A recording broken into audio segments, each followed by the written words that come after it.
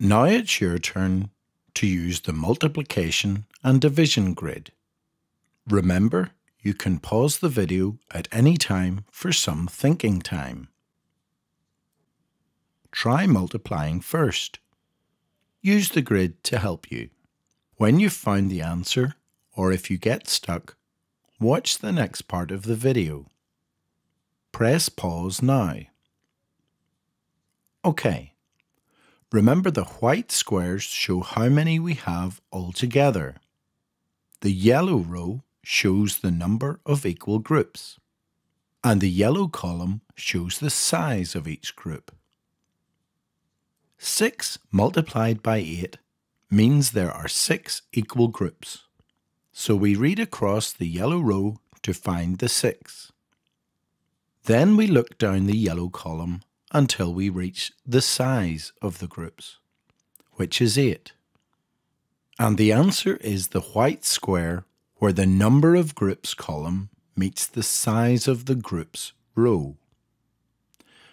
6 multiplied by 8 equals 48. If you got that, brilliant. Now let's try dividing. As before, watch the next part of the video when you've finished or if you get stuck.